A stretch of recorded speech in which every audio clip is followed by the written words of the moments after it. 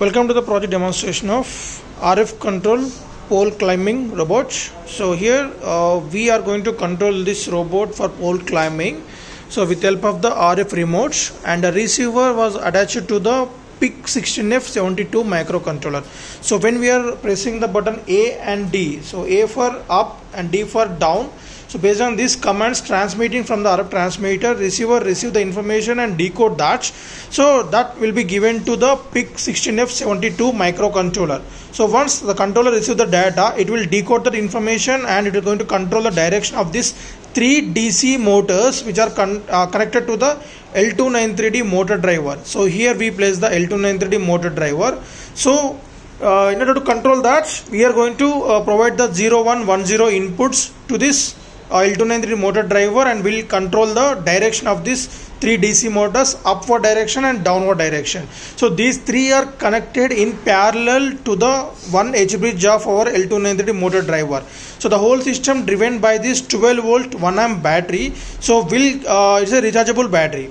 So in order to recharge that battery, just we need to connect the 230 volts inputs to this transformer and then so connect the T to the T slots. So now, now the charger is switching on and connect the B at this B slots. So once you made the connection at the B slot, then the batteries will getting charging. Right.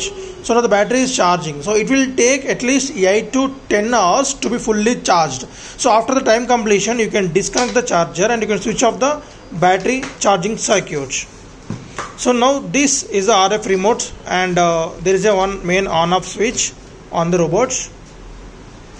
So on off. So when you switch on this if the light blinks on and off two times and then it off continuously it means if it is uh, battery is fully charged it blinks two times. Otherwise if it is low charge then the uh, the particular red led is continuously blinking on and off on and off. And here also we have the indication of LED indication when the data is transmitting so it can be controlled for the at least distance of 60 meters of duration. So i'm switching on this. So when you press the switch there will be a light indication on the receiver module end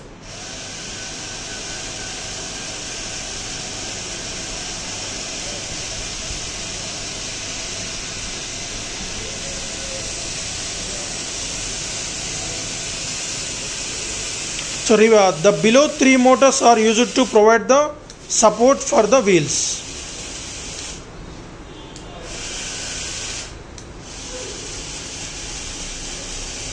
Right.